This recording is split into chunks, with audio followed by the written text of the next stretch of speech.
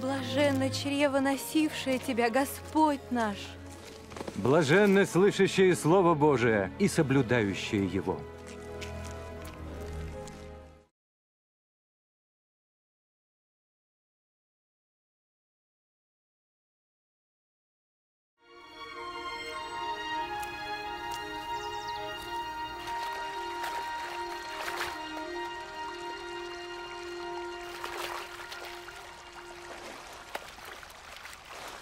Господи, научи нас молиться, как Иоанн учил учеников своих. Когда молитесь, говорите, «Отче наш, сущий на небесах, да светится имя Твое, да приидет царствие Твое, да будет воля Твоя и на земле, как на небе. Хлеб наш насущный подавай нам на каждый день, и прости нам грехи наши, ибо и мы прощаем всякому должнику нашему.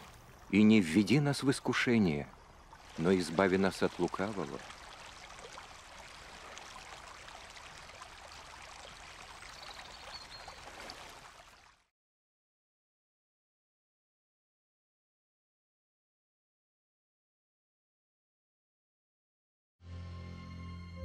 Много лет назад пророки записали в Писании, что Бог пошлет Мессию спасти грешников и примирить их с Богом. Жизнь Иисуса ясно показывает, что Он действительно тот Спаситель, которого Бог обещал послать в мир. Пророк Исаия написал «Дева приимет в чреве и родит сына». Так и случилось. Силой Божьей Мария, девушка, забеременела и родила Иисуса – как и было предсказано в Писании, чудесное рождение было знаком от Бога, что этот ребенок был Мессией, тем, кого Бог назвал своим сыном. Когда люди видели Иисуса, они видели воплощенного Бога и Его силу. Он исцелял людей, прощал их грехи и обещал им место в своем вечном царстве. Иисус пожертвовал своей жизнью и понес наказание за всех людей. Потом он воскрес, показывая, что его власть больше, чем сила смерти. И Иисус Мессия сказал, «Я имею власть отдать свою жизнь и власть снова принять ее».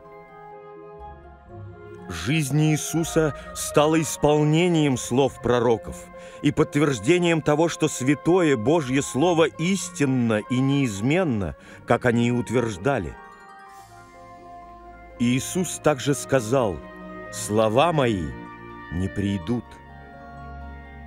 Иисус пришел, чтобы дать нам жизнь в избытке, как было в начале, когда Бог сотворил первого мужчину и первую женщину. Но они не поверили Богу и ослушались Его повеления. Этот поступок разделил их с Богом. В Писании сказано «все согрешили» и Наказание за грех – смерть. Согрешившие люди не могут жить в общении с Богом. Но так же, как Бог предусмотрел ягненка в жертву вместо сына Авраама, Он послал Иисуса умереть вместо потомков Адама. Он сделал это, чтобы те, кто верит и возлагают свою надежду на Иисуса, могли снова прийти в присутствие Божье. Поэтому каждый – кто последует за Иисусом, избежит наказания ада и будет вечно жить с Богом.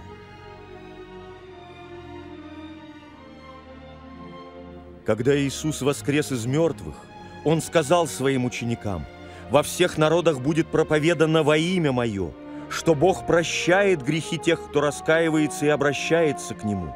Иисус также сказал, что Он даст своим последователям Святого Духа Божьего – чтобы Он был с ними, явил им истину и дал им силу следовать за Богом. Когда грешница покаялась и последовала за Иисусом как своим Господом, Иисус сказал ей, «Прощаются тебе грехи твои, вера твоя спасла тебя». Иисус говорил, что когда люди истинно любят Бога, это и есть свидетельство того, что Бог простил им их грехи. Иисус Мессия призывал людей следовать за Ним. Те, кто решил стать последователями Иисуса, могут начать свои отношения с Ним словами этой простой молитвы. «Боже, Ты велик и свят, Благодарю Тебя за то, что Ты любишь меня. Я сожалею о том, что ослушался Твоих заповедей и согрешил против Тебя. Благодарю Тебя, что Ты послал Иисуса умереть на кресте вместо меня, и что Он воскрес из мертвых. Благодарю за то, что Он взял на себя наказание за мои грехи. Я хочу следовать за Тобой и уверовать в Иисуса как моего Спасителя и Господа. Я благодарю Тебя за то, что Ты простил мои согрешения, дал мне возможность прийти к Тебе и быть вечно в Твоем Царстве – я прошу Тебя дать мне Твоего Святого Духа, чтобы Он пребывал со мной и указывал мне путь. Я хочу, чтобы Он дал мне силу любить Тебя всем сердцем и жить жизнью угодной Тебе. И пусть люди повсюду в мире воздадут Тебе славу. Аминь. Иисус сказал о своих последователях, «Паства моя слышит мой голос, я знаю их, и они идут за мной. Ученики Иисуса собираются вместе. Они говорят с Ним каждый день, изучают Его слова в Писаниях, стремятся следовать Его примеру и говорят о Нем другим. Иисус направляет их и укрепляет их силой Божьего Духа, живущего в их сердцах. Они помнят, что сказал Иисус своим последователям перед своим вознесением на небеса, где Он восседает на троне – Дана мне вся власть на небе и на земле. Вот я с вами во все дни до скончания века».